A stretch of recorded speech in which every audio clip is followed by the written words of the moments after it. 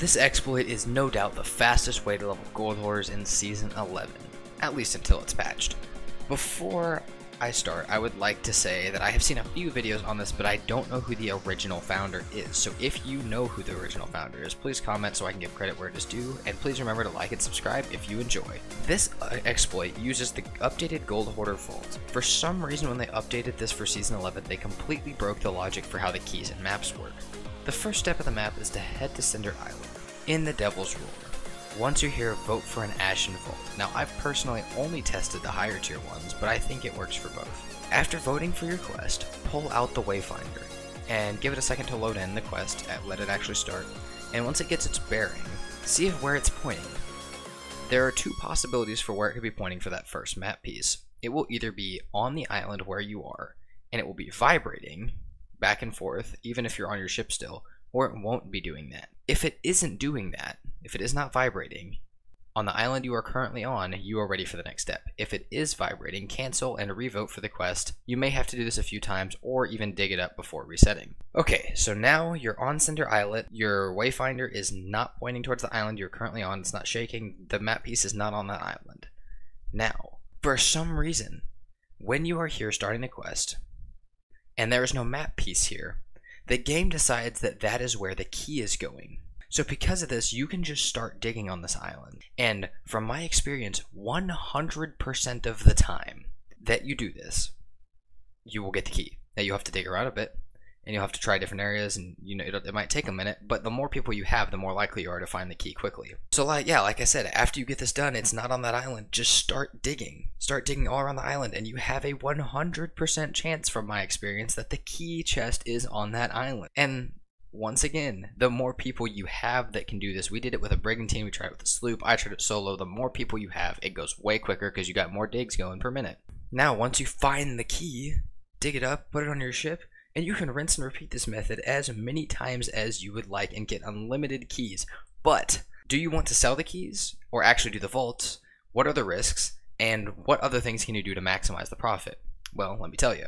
First, we tried it out to see. Doing the vaults actually putting the key in and doing them nets you almost 10 times more gold and reputation. However it can take way more time and it is pretty risky. And also but the more people you have the quicker that will be as well because you got to carry all the chest up and stuff. Now we will showcase the risks trust me. If you are solo i do not recommend doing more than three vaults at a time as carrying that many chests is torture. Obviously you can do how many you like but there's no not really a reason to. In the time it takes i'm sure you will get rolled up on and you have a very high chance and get all your loot stolen for no reason. So i would definitely if you're solo or even a duo, do this in small groups. However, if you have a bigger crew, I guess you can stack as many as you'd like, just be ready to defend it and for the time that it would take. We spent an hour and got 24 vault keys, and we did 12 of the vaults and sold 12 of the keys just to show you guys the numbers and so you can judge which is better for you in your current play session.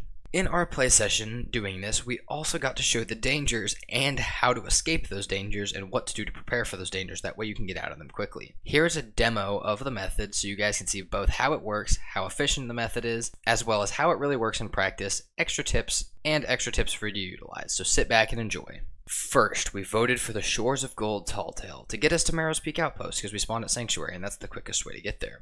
Here we stocked up on resources and decided to head towards Cinder Islet. Now, we started with two people on the Brigantine because we were waiting for a friend to join, and it was taking about one to two minutes per key on average. After our third friend joined us, it took about a minute and sometimes less. Sometimes we even got it on first dig, so it's pretty easy. I will note that there are different paths you can take that are more efficient, and I will show those. Remember, you only have to dig in a general area. So here's the path that I normally take when we start digging, and obviously it can be in different places, but you only have to be in the general area. So these are areas, this path gives you most of the areas that are generally covered. And if you don't find it here, just keep digging around the island, you will find it. After an hour, we had actually dug up 25 keys. Somehow we lost one somewhere, but that's fine because that made it even. After we had our 24 keys, we started to head towards Fetcher's Rest, which by the way, all of the vault keys will always go to this same island because of the key preference, which is a thing added in a previous season that allows the key to be closest to the island that it is dug up near. So it will always be there. We tried our best to park in a spot where we could harpoon, but also get out in case of a fight. See, Fetcher's Rest, you kind of have to go in this little area, and the bigger ship you have, the harder it is to get in here, and the harder it is to get out. You can speed up the loading process with a harpoon rowboat in a multitude of ways. Just be careful as they're a little buggy. After you get a lot of loot or entities loaded into them at once, they can start to bug out a little bit, so just beware of that. At this point, we just started grinding out our vaults with pretty much no incident actually. Even the island didn't erupt, which was really amazing. We were just taking turns carrying chests up, finishing the vault, and saying that it gets 10 times as much is also a judgment of saying that we got almost everything out of these vaults, including the trinkets. But as we finished the 12th vault and started loading most of the stuff onto our ship, which like I said, we had been loading throughout the time, but we still had quite a bit left, probably three or four vaults, I noticed a Reaper's 5 headed straight for us from the other side of the map. And in almost no time, it was time for us to go. We had to get out of there. This is the main risk other people being able to see you, you're sitting here for so long, and if they're Reapers 5, they probably know what you're doing and they can definitely see you on the map. So if they know about this, or they even just know that there's a vault there, they will probably start heading towards you. As they got closer, we had a plan though, and this is how I recommend that you guys escape it, though I have a slightly better way to do it. Me and Jackson left with what we had on the boat, and Nathan tried to carry as much out of the vault as he could, as if he needed to come back to the ship as soon as he comes back, those second set of doors will close and we will not be able to get down there, locking our loot away until we get another key to put it to get back down there, and even then it could despawn. We headed towards Marrow's Peak, but that brigantine was gaining on us quick. And they were shooting people off. They were trying to shoot chain shots. They were trying anything they could to get us down. And when, though we were down a man, we were about to be down two, so we could not even turn to fight them. We realized there was no time to sell, and I came up with a different plan. Let's escape to the shores of gold. This was going to take a few steps though. In order to escape to the shores of gold, me and Jackson needed to vote for the Tall Tale. After voting, we had to have someone talk to Grace at Marrow's Peak. So we started heading there because we were almost there anyways. As I got there, I realized that it wasn't doing anything, and all of a sudden I saw a message pop up that said all of our crew had to be there at the same time, and we all lost hope as we were getting shot at by this Reaper's 5 brigantine. However, as soon as Nathan came back to the boat, the game considered us all together. Nathan came back to just help us, but as soon as it considered us all together, it started the Shores of Gold, gave us the Shroud Breaker, and we could head north to escape into the Red Sea. Now, I feel like this is worth mentioning. We would normally try and take on this fight, but we were almost out of food and we did not have a huge amount of cannonballs or planks, and we were so nervous for losing this loot we just had to get out, as well as these players seemed pretty good. As we headed north, not only was a Reaper's 5 Brigantine on our tail, but there was also a 4-stacked player galleon, a skeleton galleon, and a megalodon. If we could actually make it out of this, it would be insane. As we closed in on the Red Sea, the shores of gold, and safety, they downed both of our masts, dropped our anchor, and got someone on board, all within a minute. He's on, he's on, he's on. Shit. Hit once. He's weak. God He damn. is 8 feet. Blow die. One more shot eating. Oh shit, we're gonna get we're gonna sink here. He just disappeared from me. He's below deck. Bucket him. We need bucket right right now. Yep. Where's he at? Below deck. Kill him. Bucket, bucket, bucket, Sure. bucket. Right now. Working on it. Fucking Skelly Pierce. Holy Jackson, shit. help me get back masked up. Yep, got you. Nathan, keep bucketing. I'm repping.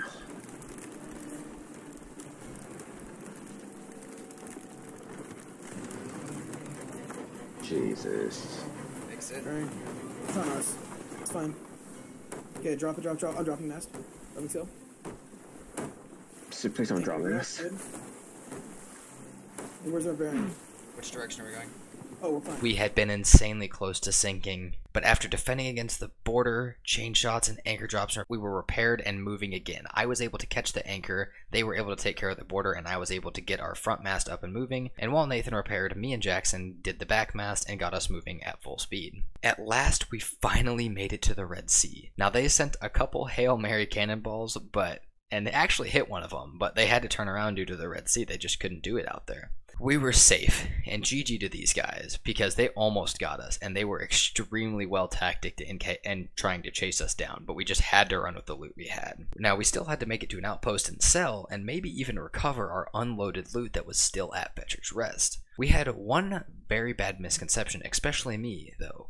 We had thought from previous experiences that we would switch sessions when we went to the Shores of Gold. But that is not how it works anymore. They were right outside the border of the Red Sea waiting for us to come back. While we waited to see what they would do, we decided to go ahead and set up a screenshot and separate all of our loot to see what we had, and this is what it looked like, which was pretty badass.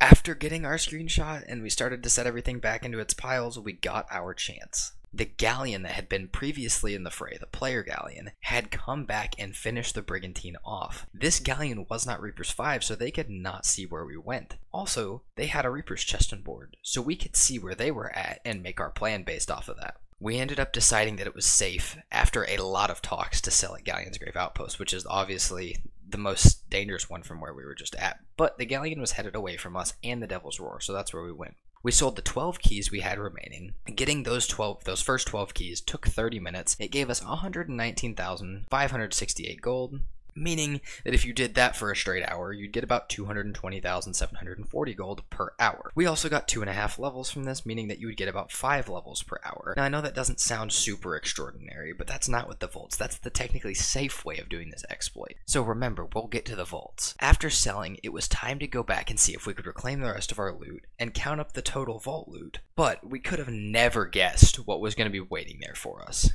As we approached the island, it was extremely foggy, and right as we pull up, The bass drum, whenever it hits the next level, Yeah. just boom, boom, Oh, boom. there's a there's a sloop here. There's a sloop here. Wait, what? Drop How's anchor. it- Drop anchor. Drop anchor, drop anchor. Drop anchor. Okay. Oh, they might be trying to get our shit. Mm, I'm going. Dude, they can't see us because of the shroud. Let's just go sneak up on them. Okay. I have pineapple. Okay. Oh, I see. They're gold number five. Yeah, no shit. Their their vault just filled up. They're doing vaults too. Look at the shark. Yo, they, they have all our shit. They have all our shit. It's keg. There's a Grab the keg. keg, keg in the ship. They're both loaded. Keg their ship. Remember that keg you said to drop? You Yeah. got it. You have one and a Dude, they did all that heavy fucking work for us. Yeah, they have king's chest and stuff too. Blowing it. Kindness. Yes, someone else was not only trying to take our loot, load it up, which why wouldn't you if you just found it on an island, but they had done a few more vaults. We think it was one or two, but they could have done more than that. We have no way to be sure. But that's how many tribute chests we found, so that's what we're assuming. They had also reopened the vault, meaning that everything that we thought would be stuck down below, we now had access to. All of our trinkets, everything that we thought we had lost, so we were going to be able to do a perfect full count, maybe including their things as well. But just to get a general idea, we would actually know how well we did.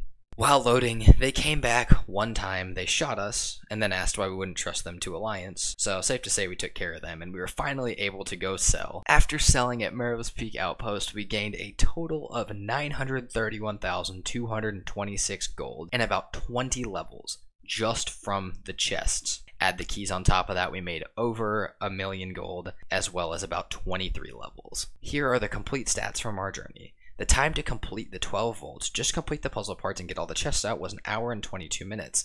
The time to get 24 keys was an hour and 5 minutes. So you get about double the amount of keys as you can faults done, and that does not count the time carrying, loading, all that kind of stuff, because obviously that varies per crew. The total gold from the chest was 931,226, and the total reputation from the 12 vaults was 20 levels. The gold per hour from the vault is 681,384, and the reputation per hour from actually completing the vault was 14.6 levels per hour. As I said, this does not count any of the sailing time, digging up the keys, which the 12 keys for those vaults took about 30 minute 30 extra minutes to get. But we already had them, so we couldn't really count that time. And I will also say our total voyage was exactly five hours. Because of how long it took to load the chest, running to the shores of gold, coming back for the rest of our chest, dealing with another sloop, and then sailing again. It took a, quite a bit longer than obviously we say. So just remember to allocate more time than you think things are going to take, as it is extremely likely things will go wrong, off track, or you will get distracted or interrupted. Whether it's by players, glitches, bugs, or eruptions even, something will probably happen. For an extra layer of protection, after getting all the keys that you're going to use for the vault, go start your Shores of Gold Tall Tale. That way you can just go straight north if someone starts to roll up on you and you can get away from Fetcher's Rest. And if you guys found this video enjoyable, entertaining, or informational, please let me know. And if there's any ways that you guys think that we could make this exploit more efficient, please let me know so that everyone else in the comments and myself can use it to our advantage. No matter how small the tip is, we will try it and we will figure out if it is more efficient. I hope you guys enjoyed, and I will see you guys next time. Peace out.